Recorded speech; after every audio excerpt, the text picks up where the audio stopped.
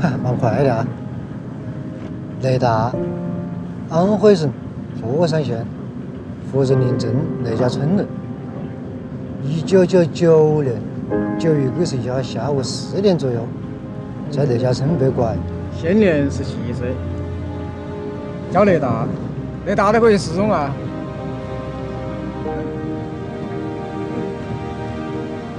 丢了十五年了。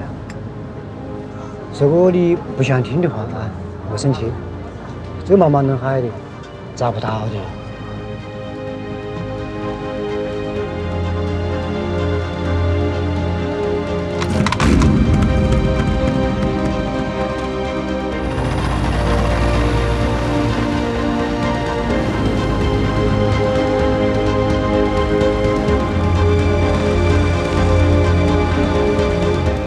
十五年，只有在路上，我才感觉我是一个父亲。